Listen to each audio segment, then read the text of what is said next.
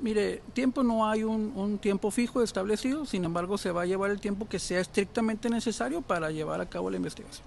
Derivado de la investigación vamos a tomar de, eh, decisiones en, a, conforme vaya fluyendo la información. ¿Han solicitado ustedes nuevas órdenes de aprehensión o ahí es, cabe todavía esa posibilidad? Eh, la investigación se encuentra abierta y, y, derivado de la investigación pudiera ser el caso que pudiera haber más este, solicitudes de orden de aprehensión.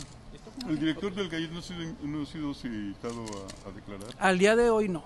Eh, al día de hoy, las siete órdenes de aprehensión en contra de los siete servidores públicos que solicitamos su aprehensión se encuentran vigentes. Al día de hoy todavía no se encuentran cumplimentadas.